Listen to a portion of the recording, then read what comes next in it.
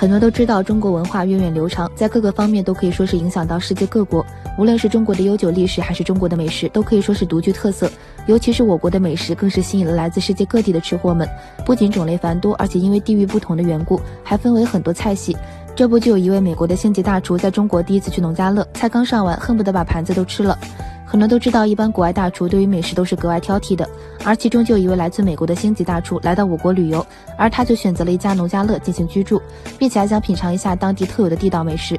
而当他进入农家乐的时候，就被欢快的氛围给深深吸引住了，因为在他们国家吃饭往往都比较安静，给人一种非常不自在的感觉。